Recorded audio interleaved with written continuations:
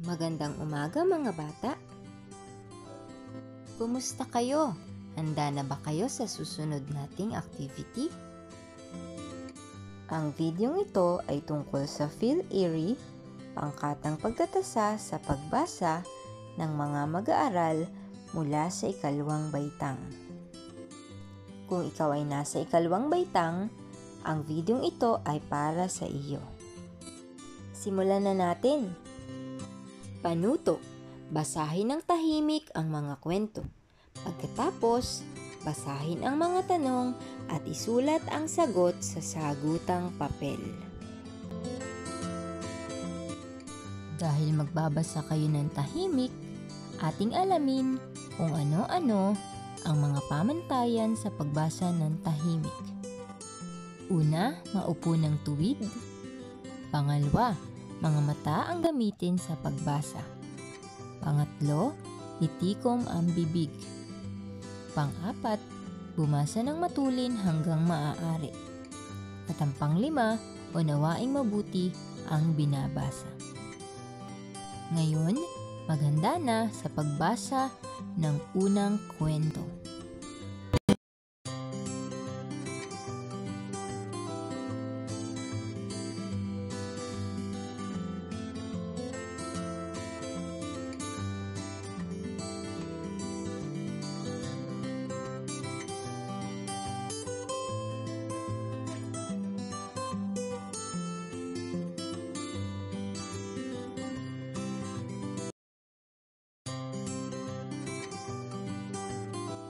Mga tanong.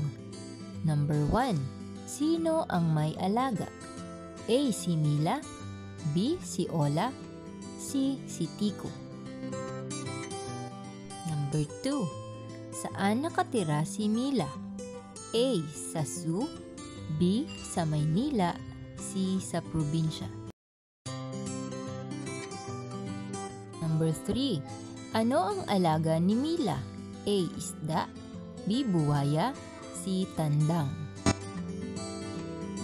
Number 4. Paano ginigising ni Tico si Mila sa umaga? A. Tumatahol B. Tumitilaok C. Umiiyak Number 5.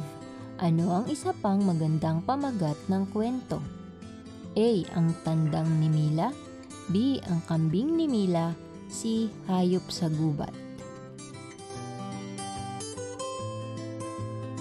Ngayon, maaari mo nang basahin ang pangalawang kwento.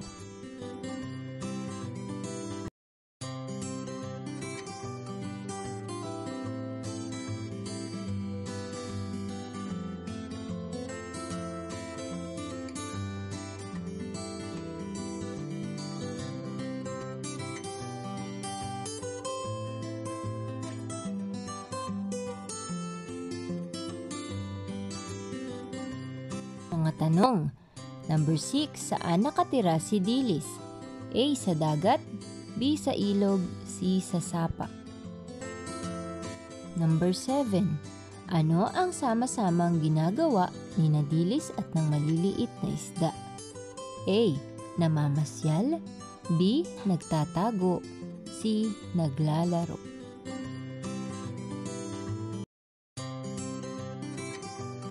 Number 8.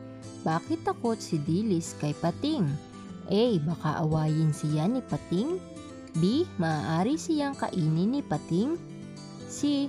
Baka agawan siya ni Pating ng pagkain. Number 9. Paano ipinakita ni Dilis ang pagiging matalino? A. Mabilis siyang nakapagtago sa korales? B. Tinulungan niya ang mga maliliit na isda? At C. Hindi siya nakipaglaro kay Pating. Number 10. Alin sa sumusunod ang isa pang magandang pamagat ng kwento? A. Sa ilalim ng dagat B. Ang gutom na pating C. Si Dilis ang mabangis na isda Ngayon, ipagpatuloy ang pagbasa ng ikatlong kwento.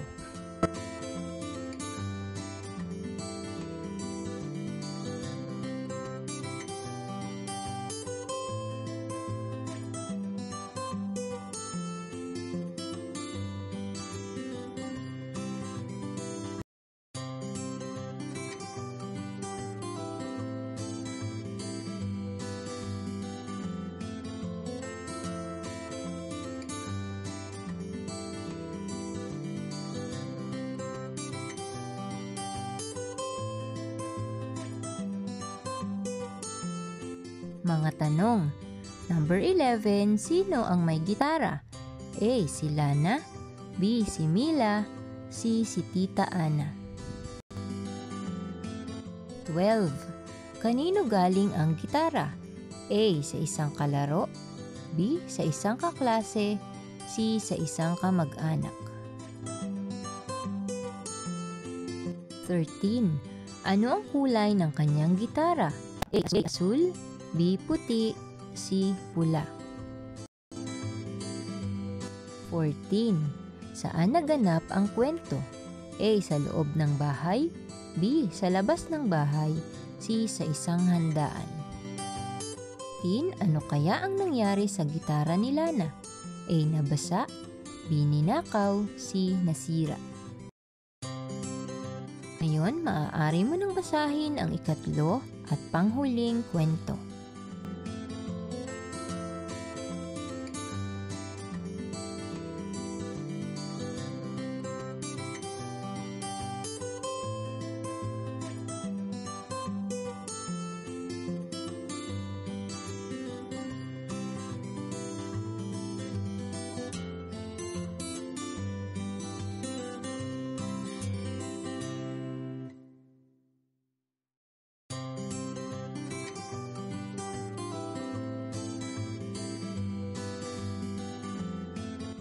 Mga tanong.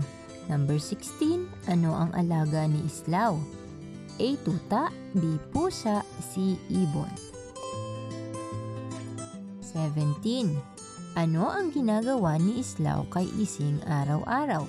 A. Pinaliliguan B. Pinapasyal C. Pinakakain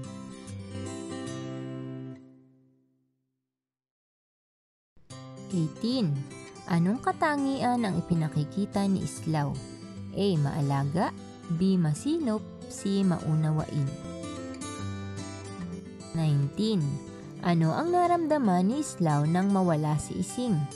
A. Nag-alala B. Natuwa C. Nagalit Number 20. Ano ang ginawa ni Islaw na nagpakita ng kanyang pagiging maalalahanin? A. Hinanap niya si Ising B. Pinamigay niya ang alaga. C. Pinabayaan niya ang alagang mawala. Kung tapos na sa iyong gawain, ipasa ang iyong sagot sa iyong guro. Maraming salamat mga bata. Tandaan, ugaliin lagi ang pagbabasa. Hanggang sa muli!